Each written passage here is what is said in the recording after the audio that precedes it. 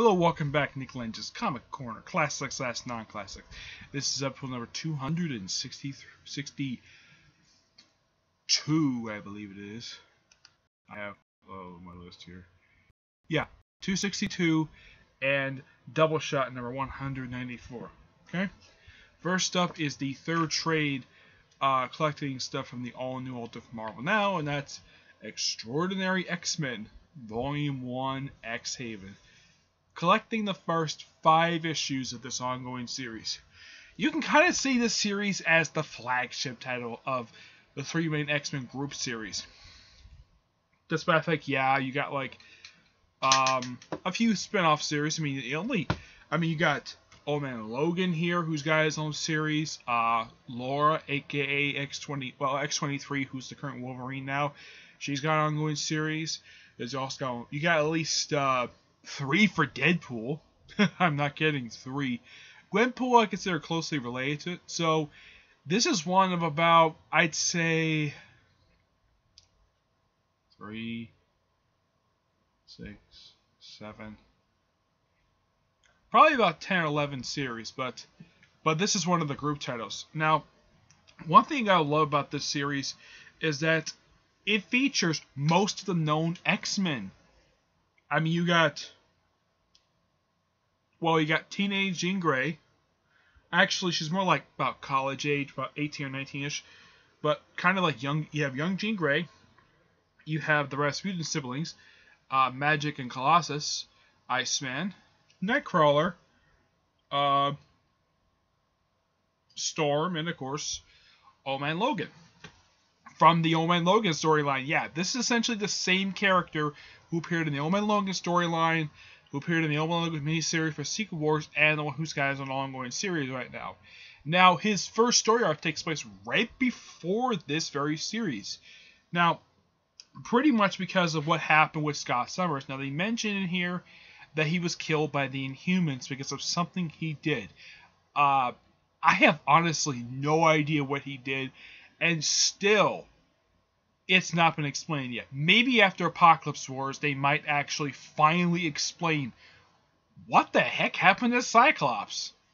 Well, of course, it's present day Cyclops because we got Teen One in the all new X Men. But yeah, kind of like classic type X Men stories. But this series, with this one, all new X Men, you can kind of see like you have this one kind of be like a modern interpretation of what would be uh, the Chris Claremont style of writing, thanks to Jeff Lemire and Humberto Ramos, uh, with Lemire on the writing and, and Ramos on the artwork. Now, pretty much, yeah, because mutants are like very much hated now. They're no longer hated and feared. They're just hated to the point where where Magik was was uh, getting uh, this this mutant out of India, and she basically had to avoid the Indian military. I am not kidding about this. She had to do that. And yeah, the whole Terrigen Mist thing is sort of part of the background thing. Now, I get maybe trying to kill off mutants, like some of them basically. Um, of course, people try to kill off mutants for years, but my problem with the Terrigen Mist is uh, not the whole thing of killing mutants. My problem with it is making mutants sterile. This is dumb. That's my only criticism of that. I mean, killing mutants, I don't have a really big problem with that, but the whole sterilization thing, I think that's really, really dumb. And that's basically Marvel saying, yeah, the X Men can't have kids, despite the fact Scott Summers already had a child. His name is freaking Cable. But that was before all this this happened. That means that Storm can't have kids. I mean, people want to see her get reunited with Black Panther because um, they had quite possibly, they were quite possibly one of the most popular couples in Marvel Comics. People love their relationship. But then, um, I think, I don't think it was Bendis. It might have been Loeb. Yeah, it might have been Loeb. Whoever wrote uh, the final issue of Avengers vs. X-Men basically had them sort of had their marriage over. According to Black Panther, marriage was a no. That's why her hair is still kind of a mohawk, but not as much as before. And of course, everybody's got new costumes, and Magik is basically wearing something similar to the costume she she was wearing during the Bendis era of the X Men books. Yeah, where she shows off a hot silver belly. Yeah, you can see she show shows off her abdomen and her cleavage. Yep, she is by far the only female X Men to do both. Yeah, show off her nice abdomen. Of course, Storm does the same thing too.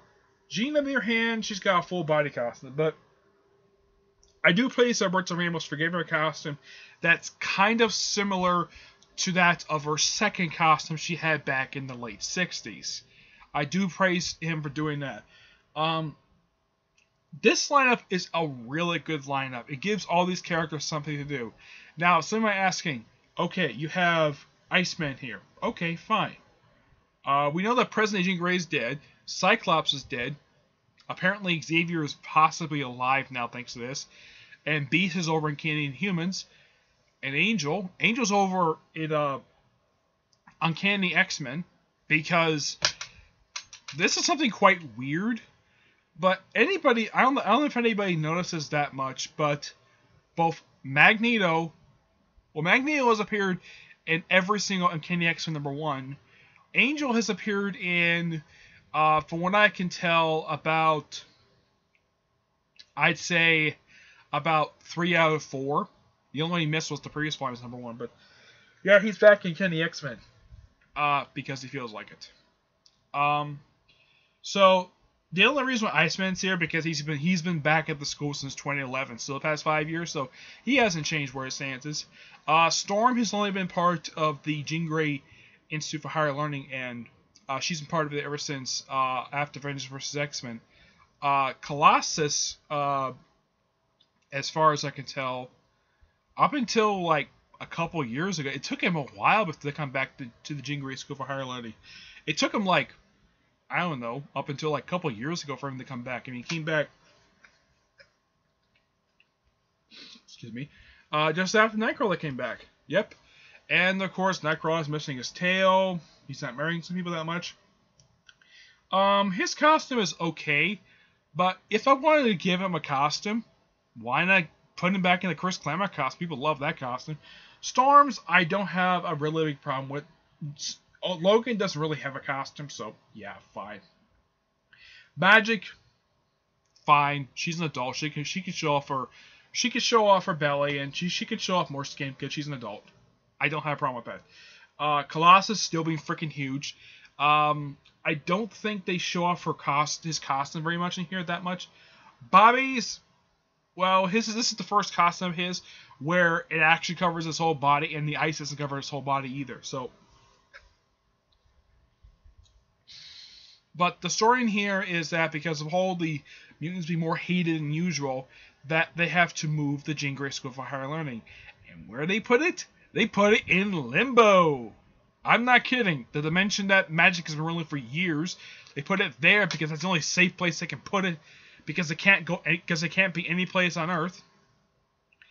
And they call the whole and even though it's still called the Jean School for Higher Learning, the whole area they're in is the um uh it's called X Haven. That's the name of the storyline. And there's a whole thing with Cyclops, and there's a speech in here at the end, which is kind of similar to happen all New X Men within the first story arc. But this series is just awesome. Um, and I recently today just recently read the most recent issue, issue 11. Still a really interesting issue. So 11 issues in, this series is still really good. These these five issues are really good. Um, Logan is having some flashbacks um, of of what happened uh, during his own title. Uh, you, you also have Forge. Forge is supporting character here, and Cerebro or Cerebra is a re, is a re, re, uh, reprogrammed Sentinel.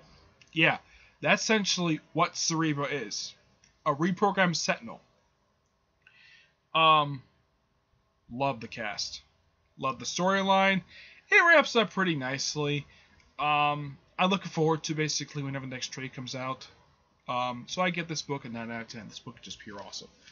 Now for the book that got a lot of that it was on my list of basically the most underrated storyline of last year because it was buried under the advertisement of Secret Wars.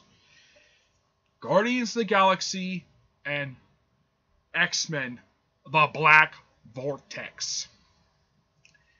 This tree contains the entire crossover, which contains the Guardians of the Galaxy and X Men Black Vortex Alpha and Omega, both number ones. Guardians of the Galaxy Volume 3, issues 24 25. Uh, Legendary Star Lord 9 through 11. All New X Men, number 38 39. Guardians Team Up, number 3. Nova, Volume 5, number 28. Cyclops Volume, I think this is Volume 3, number 12. And Captain Marvel Volume, uh, I think it's Volume 8, number 14. Now, who does the writing for this book? Well, the um, there are a bunch of writers on here. Now, the uh, the Alpha one shot that's written by Sam Humphries. He also writes uh, Guardians Team Up, and he writes uh, um, the Guardians Team Up issue and the issues of Legendary Star. Okay, Brian Michael Bendis, on the other hand, uh, well, Sam Humphries writes the Alpha and Omega one shots in Legendary Star Lord and the Guardians Team Up. Uh, Bendis writes all new X Men and Guardians of the Galaxy. Gerry Duggan obviously was writing Nova at the time. Kelly Sue DeConnick does Captain Marvel, and John Layman does uh, the final issue of Cyclops. Now, Cyclops is the only series that actually ends with this very storyline. And yes, it involves this big, humongous mirror. Um, show up some artwork in here. Yeah, yeah, it varies on who the artist is, depends on whatever issue you're in. Um, on the back cover, which I think this is cover issue 24, this cover is actually a partially a lie because there are certain characters who appear in this cover who do not appear in the storyline. Uh, for one thing, uh, Venom is absent in this storyline. I do not know where the heck he is. Uh, Angela is not here either. Neither is Cosmo the Space Dog, Howard the Duck, and uh, Mantis. Yeah, they're all absent from this very story. So, yeah. Oh, and the Watcher is definitely absent from this story.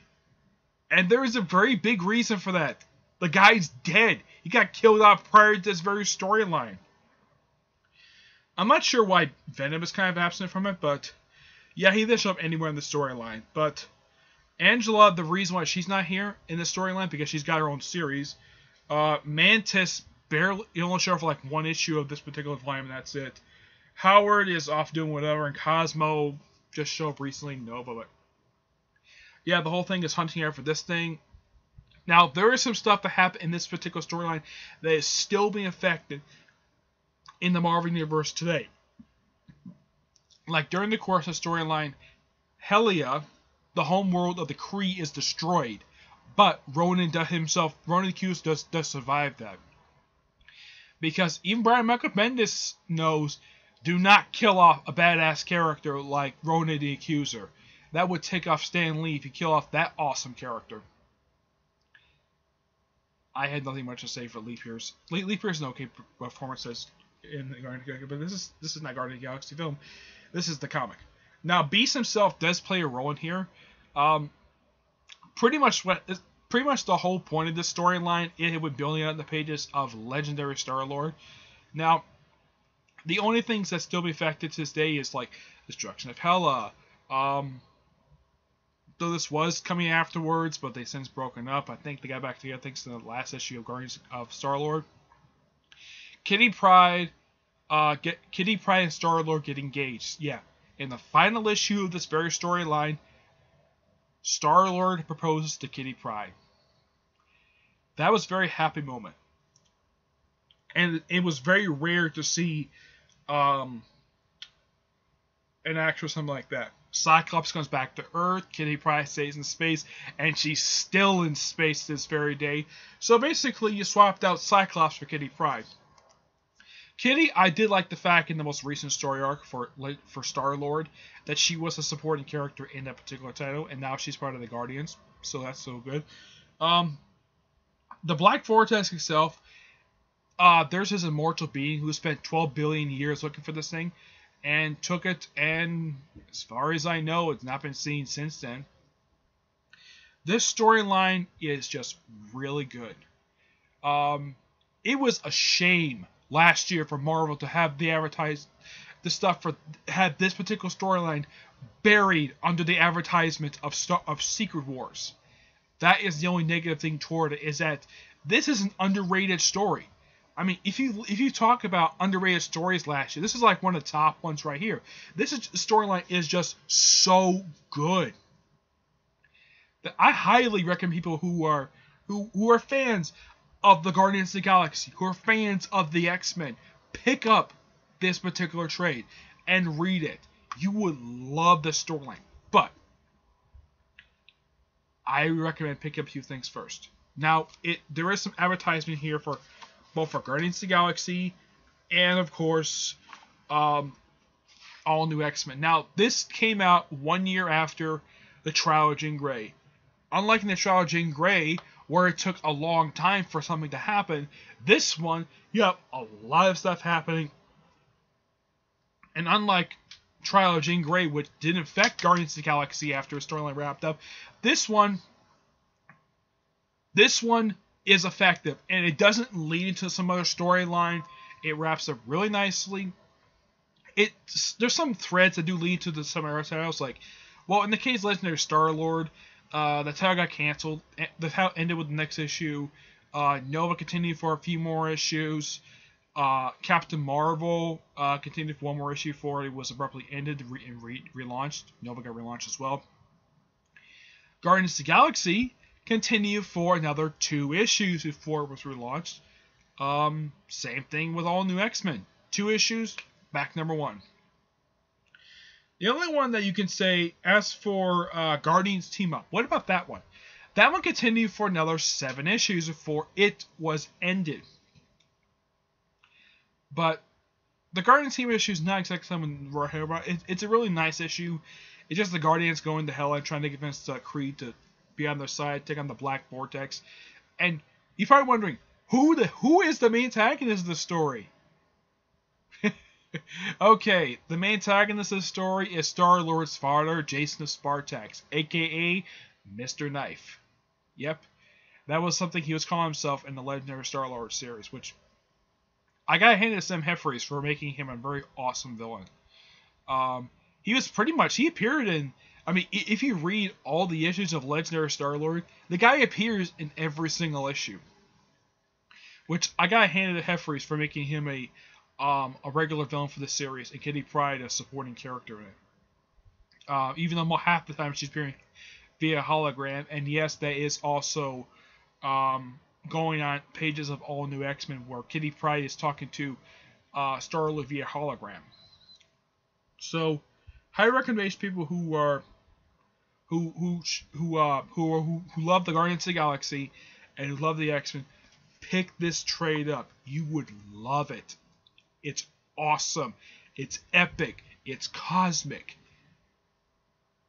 And unlike Trial of Jean Grey, which did very little afterwards, this one is still being affected. Okay? 9 out of 10, 9.5 out of 10 for that awesome storyline. Alright, that's it for this episode. Stay tuned for the next episode, which would be 263 and Double Shot 195, okay? Until then, see you there. Bye.